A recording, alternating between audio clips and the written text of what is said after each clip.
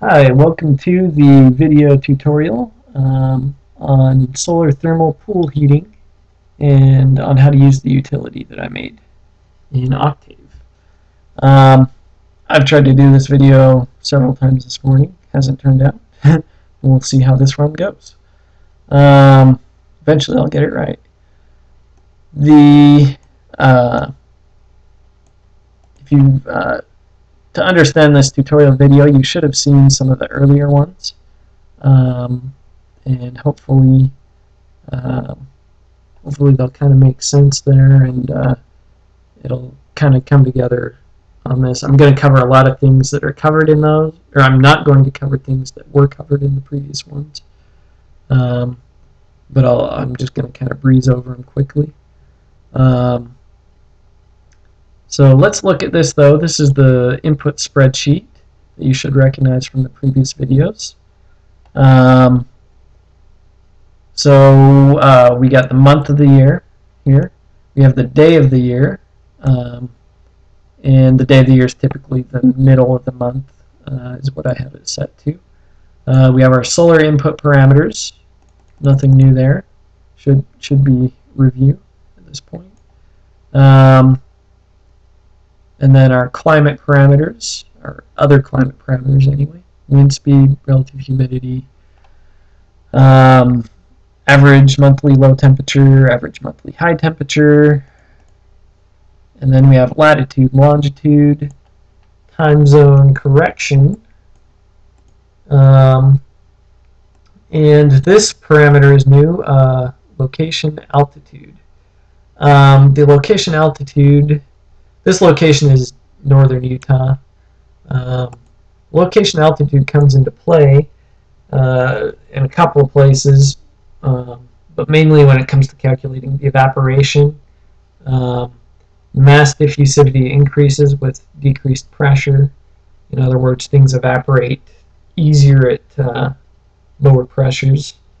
Um, and it also affects the pressures at uh, at different, uh, yeah, the, well, the pressure changes as far as, uh, it'll change saturation pressures and, and, things like that when calculating the evaporation. Um, so, I don't want to go into that too much more. It's kind of technically complicated and uh, don't see need to. But uh, let's just move on here. Um, solar reflectance and IR emissivity of your solar thermal plates um, or your solar thermal surfaces, whatever they may be. Um, your room temperature. Um, this is not going to come into play like it did before. Before we were looking at using solar thermal to even heat a living space or cool a living space if needed. Um, in this case, we're looking at this only in terms of if we build our solar thermal system over, you know, it's going to be heating a pool. Um, but if we build it over a um, living space, like if it's built into the roof of a house, um, and the solar thermal modules say they have a significant uh, insulation rating, then they're gonna there is going to be a benefit for that living space as far as insulation goes. Um, and so that's where this comes into play. Um, and so that's the only place this uh, this temperature will be used in the calculations. Um, and and I believe I went over that uh, previously. Um, the two files that you need to look up that show you your insulation savings. Um, your desired pool temperature. Um, as far as your desired pool temperature goes, I just did a quick Google search and it said 80 degrees is a comfortable temperature. Um, I don't know if that's true or not. Depending on your site, you may want higher than that, you may want lower than that. Um, but in any case, um, this becomes uh, this is a parameter that you can decide for each location what you want it to be. Um, as far as these parameters, these are all the same as before. These deal with your solar thermal system. Um, the U value, the volume flow rate, um, the module, uh, yeah, the uh, module R values, um, and site R values. Um, and again, these come into play when we look at the insulation as far as, uh, you know, if you put your solar thermal over living space, you're going to get an insulation benefit from it. And that can translate to a cost savings. Um, however, that's not our principal concern with pool heating, is it? We want a warm pool. So, um, we're gonna I'm gonna focus mainly on the pool parameters, which are these three. Uh, the pool sides and bottom of the pool. Um, typically, pools are made of concrete or cement of some kind. Um, after doing again a quick Google search, I found that uh, the pool sides and bottom um, are, you know, they can, uh, if, it, if we assume a gray, kind of a, a medium, middle of the road gray colored concrete, um, we're going to have a solar reflectance around 40%. Um, and that becomes important when we look at the pool directly absorbing solar radiation. Um, the pool volume, I figure most people know the volume of their pool in gallons, but I, I wasn't sure on this. Um, if you need to calculate this, you know, you can just take measurements with a tape measure in feet and find out how many cubic feet the pool holds, more or less. And uh, once you know that, that'll translate to, uh, um, you can convert that to gallons. Uh, so I figure it's that's an okay unit to have there, and it should be easy enough to calculate. Um, pool surface area, again, take out the tape measure, and, and just kind of measure the surface area of the pool. Um, it, admittedly, it does get more complicated when we look at for the volume, when we look at things like having a shallow end and a deep end, it gets a little more tricky to calculate the volume. And uh, or if you have curved surfaces of your your pool, um, you know, if you have a circular pool or kind of an oval shaped pool or, or, whatever, you know, when you start to add curves into it, it, it makes even the surface area calculation more complicated. Um, so when you're dealing with those, uh, you know, you're just going to have to uh, do the difficult geometry and find those values. Um, but uh, for just a rectangular pool that's the same depth throughout, these should be real, extremely easy to get. Um, again, it just gets complicated when you look at other geometries. Um, there are calculators on the internet that can help you with these. Um, if I have time, I'll look them up and include links to them uh, with this video. So, um, and then the uh, last bit has not changed at all. These are going to be exactly the same as for the other uh, solar thermal system that we did. Um, nothing changes here when you're looking at a pool because these all deal with the, the solar thermal modules um, and how, how the setup is at a given site. Uh, so, um, yeah, those haven't changed at all. You don't have to worry about uh, adjusting the way that you, you figure out those parameters. Um, these parameters have a separate file, uh, in case you're wondering. Um, instead of saving them in st unit. It'll be st pool unit. Just you know, just in case, just so they don't, uh, because the parameters are different enough. Uh, I figured I should have a separate file for those, um, and so I did. Um, so let's go ahead and run it. And intentionally, I have, I'm just reviewing something I think I covered before but I'm just going to show you what happens if you don't close your output file.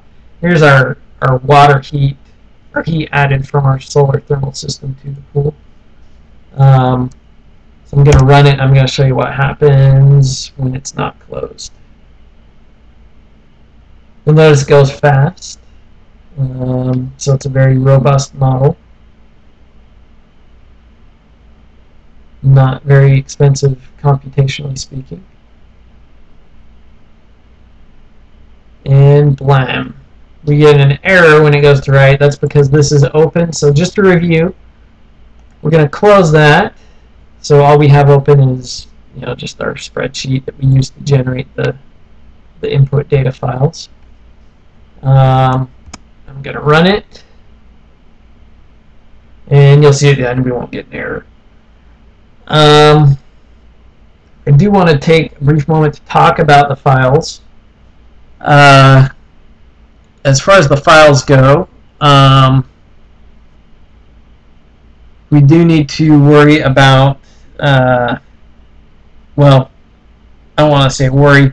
I kind of dumbed down the model on this one. Uh, it doesn't include all the fancy dynamics, system dynamics that it should um, if we want to be, if we want to have a perfect model.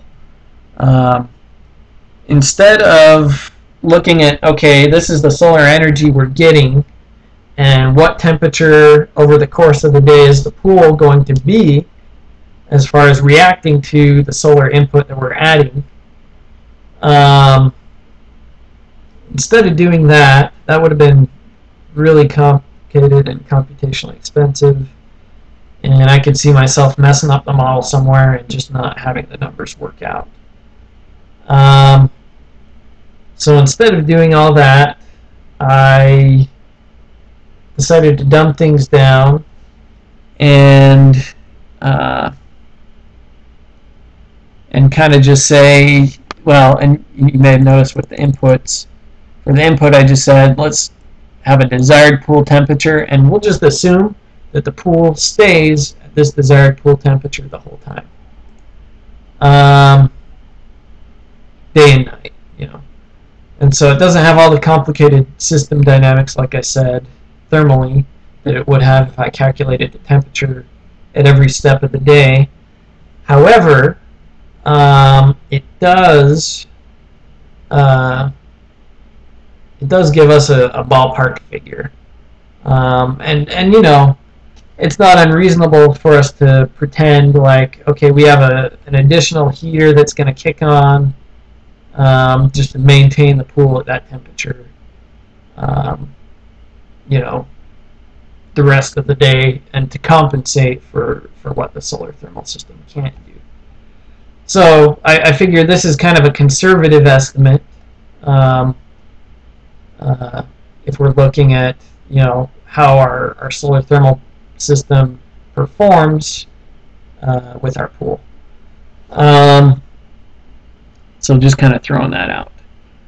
Um, Okay, so our numbers are crunched. We have our figures just to review where we get the numbers from. Um, so again, heat insulation and cool insulation.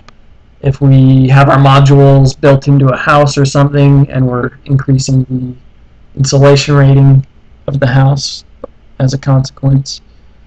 Um, okay. So these two are the files we were really interested in. Um, okay, these are comma delimited. Again, comma delimited. And we open them up and we get our data. And I already copied and pasted this data. Well, I'll go ahead and copy and paste it once again. Um, into, because our numbers will have changed slightly.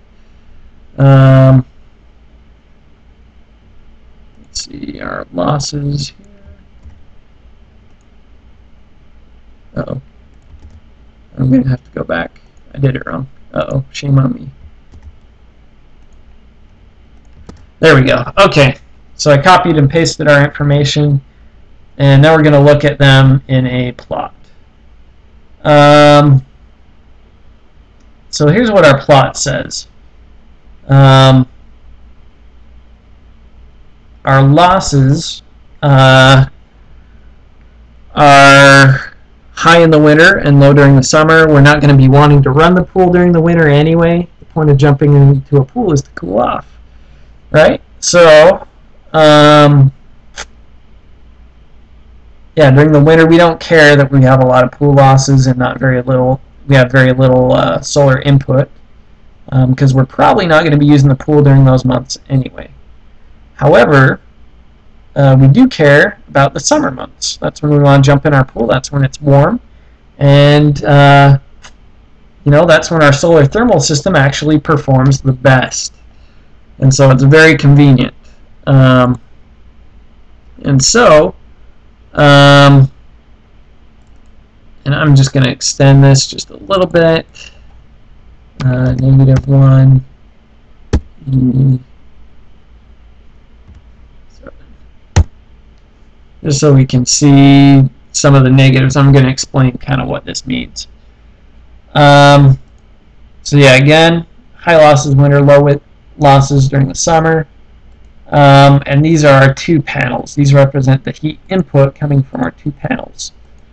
Um, and so we want to look at the difference between these. We want to say this panel plus the energy from this panel minus the energy from yeah, minus the energy that the pool's losing gives us a net energy of our pool.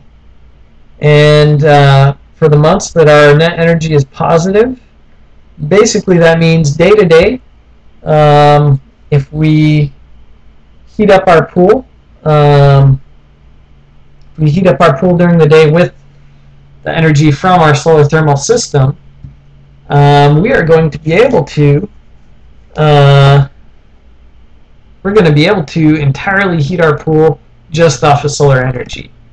Um, and again, remember this is northern Utah, so during the month of July and August, we can 100% heat our pool with just solar energy. Um, as far as the month of June goes, um, we're not quite there. Um, we would need just a tiny bit of supplemental heating um, from you know some outside some electric pool heater or whatever, or maybe a gas heater um, to maintain our pool at a given temperature. Um, so, so for the months, uh, and if you look at the month of June, it's very close to being at zero, basically, which is where you'd break even. Um, and you wouldn't need uh, an additional heater. So that's kind of what that means. Um, so you may be asking a couple of questions at this point. Um, so what about the month of May and the month of I don't know, September. Maybe you want to swim in your pool during those months too. Um, that's fine. Um, you can swim in your pool during those months, and your solar uh, you can use solar heat to heat your pool during those months. You will have a savings uh, from your solar heater. All it means is we're going to need more supplemental heat during those months um, because our solar heat is just it's low enough that uh, we just can't quite offset as well the losses. Um, so that's all that means. Uh, we still get savings from our solar heating system. Um, we just need to offset the difference with a standard pool heater um, if we want to maintain it at those temperatures. It's possible, you know, to maintain it at a lower temperature um, for those months with just the solar uh, heating system. Um, but if you want to keep it at a comfortable temperature, you're probably going to need to supplement it there. Um, so, and it, and that applies also for the month of, particularly for the month of June you know, maybe you'll just want, maybe you'll just have to have your solar thermal, uh, maybe you'll just have to have your pool at a lower temperature so that it can be heated entirely by solar thermal energy. Um, that's all that. Basically, that's all it boils down to there. Um, so yeah, um, I think that covers pretty much everything in the tutorial. Um, again, my model is a little bit simple, a little bit dumbed down, but I think it does give you still an effective idea of, of cost savings um, that you'll get from your solar thermal system when it comes to keeping your uh, pool at a given temperature. So, um, and it's a conservative model, so you will probably even perform a little bit better than, than what uh, this is saying. Um, so I will post this uh, utility to the interwebs as soon as uh, I'm going to get upload the video and upload the new utility. And uh, hopefully you guys will get some use out of it out there. Uh, all you solar thermal guys. So uh, good luck with that. And uh, I hope you uh, got something out of this video.